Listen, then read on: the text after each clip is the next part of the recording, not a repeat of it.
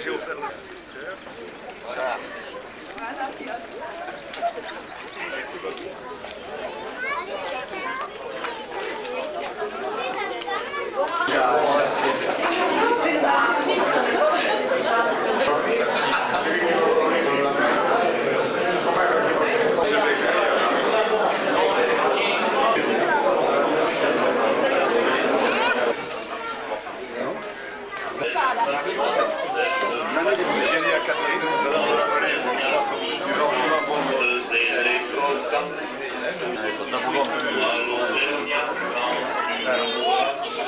deux générations avant de pouvoir faire, avant de faire partie de.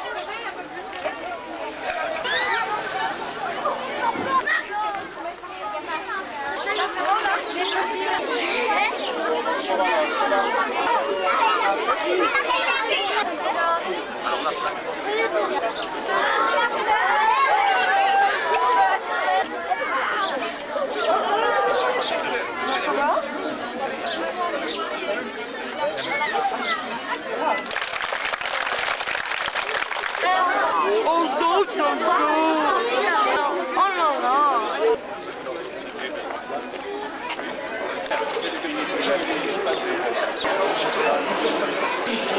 Oh cet établissement.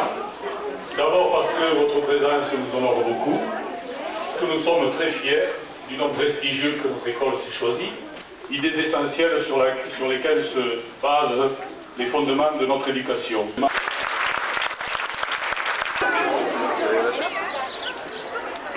Et il appartient à ceux qui l'aiment, à ceux qui le vénèrent, à ceux qui l'apprécient, et je dirais même à ceux qui l'idéalisent maintenant.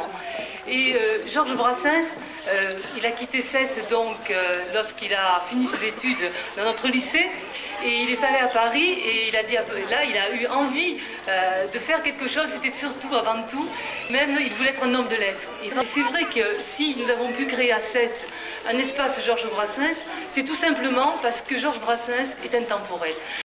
Que nous souhaitons écouter. Mais que dit ce côté cœur?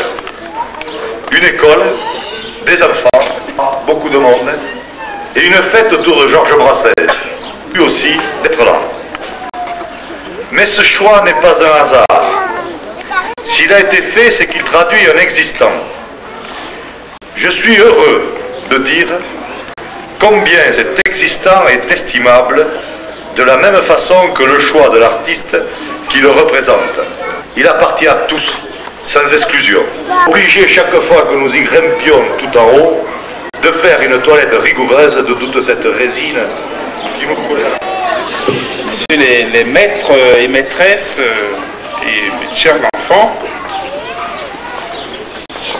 alors vous, vous donnez ma propre expérience de l'école, c'est quelque chose de- d'extrêmement émouvant.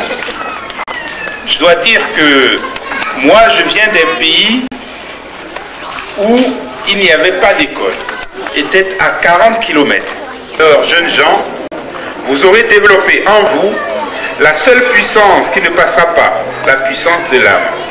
Vous ferez jaillir dans la vieille forêt humaine l'immortelle fraîcheur des sources. C'est Jean Jaurès qui l'a écrit le 30 novembre 1892. Je vous remercie.